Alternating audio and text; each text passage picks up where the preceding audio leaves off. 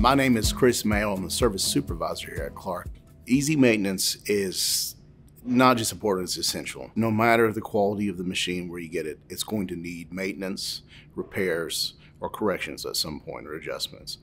If I got a truck that's easy to maintain, technician comes in, and he's able to change the fluids, access what he needs to relatively quickly, troubleshoot it, that minimizes downtime. When it comes down to it, myself and my team, we, we kind of look at ourselves as problem solvers because we're service minded people. We focus on service, but at the end of the day, we got to fix both the customer and the truck.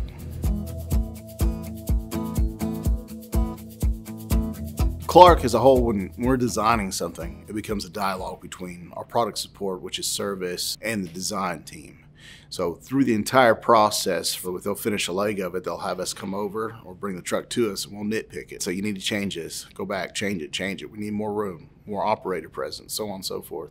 And then when that truck you know, is completed, they'll bring it to us and we'll nitpick it again. We'll drive it, we'll operate it, and we'll we'll go through a list of usually it's sometimes as much as 100 or 200 different things and we'll nitpick it. A truck that's been designed here recently with that dialogue in mind. They're easy. We can about pinpoint it in a quarter of the time what's wrong with it. Clark designs that in mind that as a technician, if I'm uh, loaded up in my truck or van with standard tools, I should be able to fix this truck.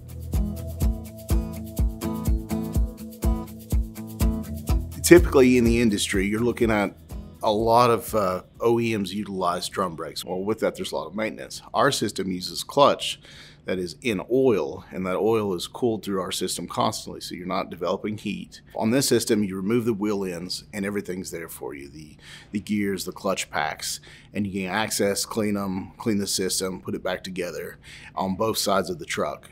And then same thing for bleeding. It's easily accessible at each wheel end as well as the, the brake cylinder itself. So you're not tearing them down to replace clutches, to adjust clutches. It works effectively, efficiently, and doesn't require very little maintenance. So.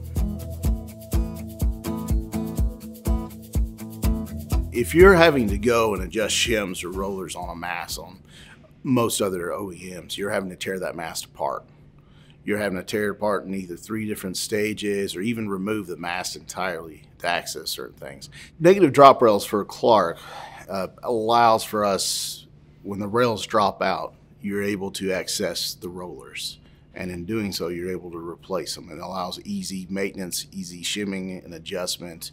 If I'm on location, I want to do mast rails, it's possible with the Clark product. I can do it. it might take me three or four hours tops. Whereas there are some OEMs that if I have to tear into it, I might be out for two or three days, and that truck might have to go to the shop.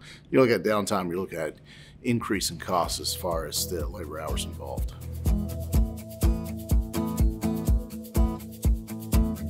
When you have a truck that is easy access, you can access all your components, your controllers, your motors, your harnesses, and everything's out there. You're gonna fix that truck quicker. Not only gonna fix that truck quicker, but your attitude about that truck is gonna far exceed if that job taking you five times as long.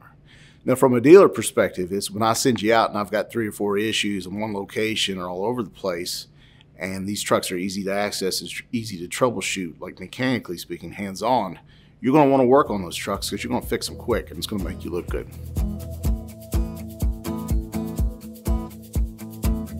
If I'm an owner, I want to ensure that those trucks are well taken care of. We're hitting every PM. We're maintaining them. If that's easy and accessible and it's not a frustrating affair, they're going to get it done and, and it ensures that they're actually going to do the maintenance. So what you're doing is minimizing the cost of ownership, the cost per hour, the downtime of that unit we always say from my side of the table is sales sell the first truck, service sells the rest. It is a well built, and I mean well built truck. I'd say over engineered in many regards, and that, that's a compliment.